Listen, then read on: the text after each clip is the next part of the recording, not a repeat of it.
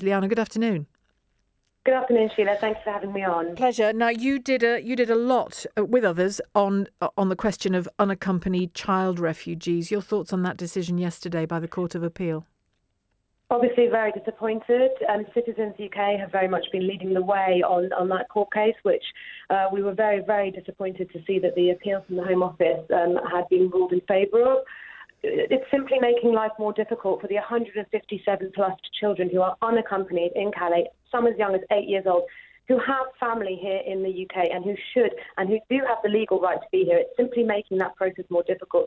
What it's meaning is that they are going to have to spend more time living, sleeping in the freezing cold, in the mud, often in tents, with barely enough food for a meal a day. We are just delaying that process. We are putting their lives in jeopardy every single day, every single night. Those children are going to try to reach their family. They're going to take their own lives into their own hands and try to get on lorries, on trains, and be forced into the arms of smugglers. And it's simply untenable that we have now ruled to make it more difficult for those children to come here and be reunited with their families.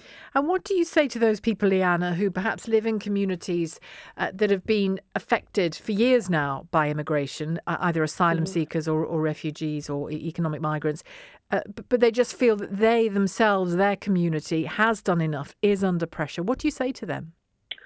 Well, I think, of course, we always have to listen to people and understand you know, the issues that they have. And I wouldn't want to say that anyone doesn't have the right to the to feeling that they have also had some injustice within their own communities. But I think what's interesting, for example, of the report that came out today was that there are some, some myths that need to be debunked here. For example, of all the people who've arrived in Europe shores, only 3.1% of those people actually are applying for asylum in the UK. It's a really tiny proportion of people, the majority of whom, 55%, are women and children. And most of them coming to the UK, they want to join their family. They have immediate family here. They're not looking to be a burden on society. Many of them are educated. Many of them have vocations. They could be a huge asset to our society. They're not looking here to come for a. And I think it's also really important to remember when it comes to refugees, the majority of them are looking for safe haven for now. It's temporary. They want to go home. It just comes again and again every time they are asked this question. They want to go home as soon as it is safe to. So Britain needs to be offering those people a safe haven in the meantime and to reunite them with their families. And when this um, Home Affairs Select Committee report, this group of MPs says it's unlikely that we'll meet that target, of 20,000 Syrians uh, from uh, mm. uh, f- from camps by 2020, hot on the heels of the decision you've just j- just reacted to mm-hmm. as well. Do, do you believe that anything will be done about about the, this report from from the MPs? Do you believe that you know from from your dealings with MP, with MPs? Do you think there's an appetite to speed this up?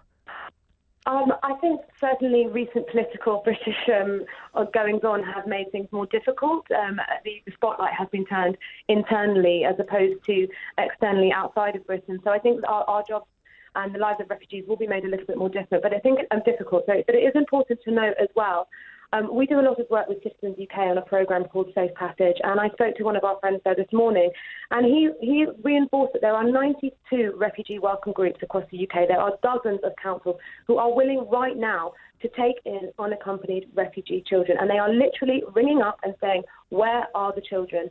So they are ready. There are local authorities, there are foster parents out there and we need to speed this process up. These are children as young as eight years old. If this was British children living in a field in the mud, out of education, at huge risk of exploitation, we would be acting much faster. That's interesting you say that. So you believe, do you, Lliana, that, that the the will is there, the welcome is there, the, the you know the houses are there, the shelter is there from from British people, but the organisational will isn't isn't matching that. Is that what you're saying? Process needs to be sped up. I think there is no one there in the camp apart from ourselves, Help Refugees and Citizens UK, currently finding these children, locating them, and starting the legal process to reunite them with their families. And that's not okay. That these, these people have a legal right to be here.